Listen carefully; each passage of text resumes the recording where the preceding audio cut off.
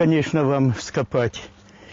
Но там, где гвардия наступает, враг не устоит. Это теперь Василию Михайловичу эти шесть соток кажутся непосильной ношей. Раньше вместе с женой собирали здесь по 90 ведер картошки. Жена умерла несколько лет назад, одному ему столько не нужно. Огород не бросает в память о жене и все же надеется на большой урожай. Надежду воплотить в жизнь взялись несколько ребят. Вооружившись лопатами, в миг вскопали территорию от колышка до колышка. То для дела, а для души деревца черешни.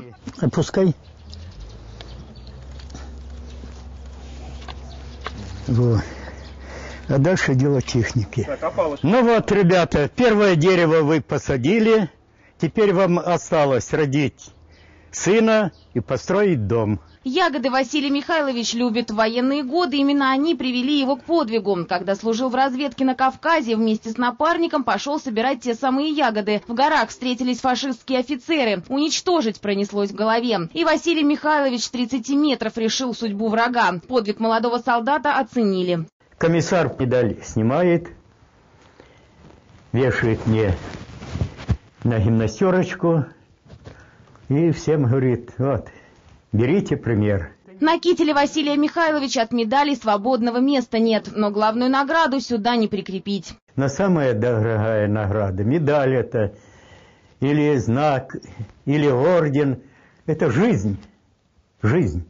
О том, что в жизни важно, Василий Михайлович узнал, как только попал на поле боя. Когда объявили войну, ему было всего 14. Чтобы попасть на фронт, ему пришлось прибавить себе еще два года. Совсем молодой мальчишка пережил все ужасы той войны. Смерть сослуживцев, голод, боль. Такие же молодые, как и он, в то страшное время сегодня пришли, чтобы сказать спасибо воину-победителю. Да не просто словом. С помощью э, нашей акции мы э, выражаем наши чувства э, ветеранам Великой Отечественной войны, которые защищали нашу Родину в годы Великой Отечественной войны. До конца августа такое же спасибо от этой группы молодых людей получит еще 100 ветеранов. Не такая уж у нас безразличная молодежь. Валерия Гавриловская, Денис Еременко для программы «Оперативный эфир».